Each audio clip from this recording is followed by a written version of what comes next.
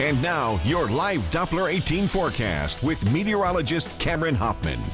Weather from where you live. Well, rainfall amounts over the last 24 hours show another decent rainfall yesterday. We saw about a third of an inch of rain here at the station, but some parts of Lafayette caught as much as an inch and a quarter. Crawfordsville right around a half an inch, but you go further to the north, some heavier rain right around the White Tippecanoe County border, an inch and a half. Monticello seeing just about four tenths of an inch of rainfall. Satellite radar, though, will show that rain continuing to move off to our east at this point. High pressure begins to filter in from the northwest, and that's going to keep things clear. But the story right now, stepping out the door, is the fog, dense fog across the viewing area as of now. Visibility right around a mile and a quarter here at the station. We're at 52 degrees. Calm winds, low temperatures, and high humidity contributing to the fog out there this morning. So just a reminder, folks, just drive safely here over the next couple hours. Once the sun rises, some of that fog will begin to burn off, and we're going to be seeing a pretty nice day. But before then, just uh, some pretty dangerous road conditions out there. 55 degrees downtown Lafayette. We're at 52 Monticello,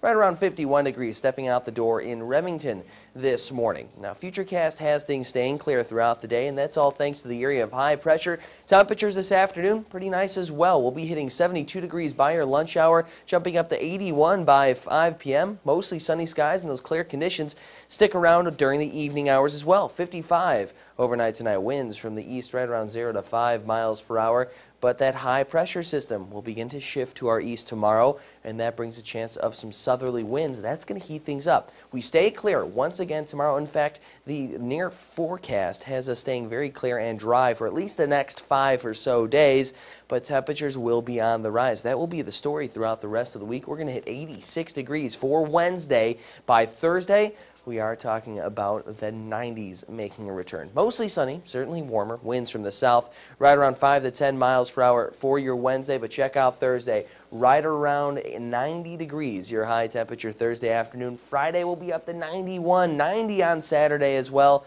But another chance of rain finally moves in for Sunday and Monday. The beginning of the, your next work week, temperatures will begin to tail off into the mid 80s. Hopefully, we can cool down a little bit more following that, Jamie. Well, in the meantime, those 90s will make great pool weather for the weekend. Enjoy, you know, the last little bits of summer. Exactly, Jamie. You know, right around mid to late August, hopefully we can see those 80s more and the 70s more rather than the 90s. All right, thanks so much, Cameron.